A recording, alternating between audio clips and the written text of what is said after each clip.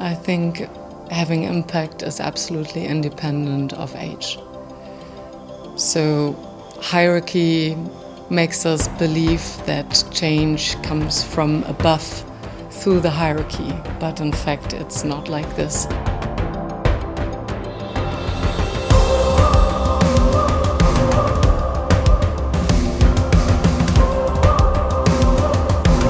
Personally, to be part of One Young World is much more than just going to a conference.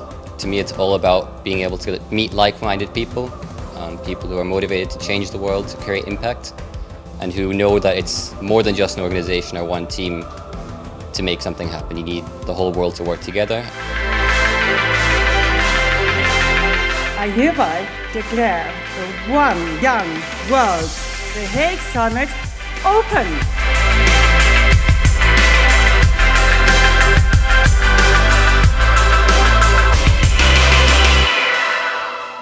There are many people in the world who suffer from climate change and suffer from poverty right now. Nearly every day on the streets, I was harassed. And it's only when you put a human face to these issues that you begin to shift people's consciousness. It's extremely emotional. So you go from being happy and then you're encouraged and then the next speech you're crying all of a sudden. So it's extremely overpowering. It's, I could say, enlightening. It really has opened up my eyes. I thought uh, people here are just to learn, but then people here have taken action. One, one message that I really will take back is if not you, then who? If not now, when?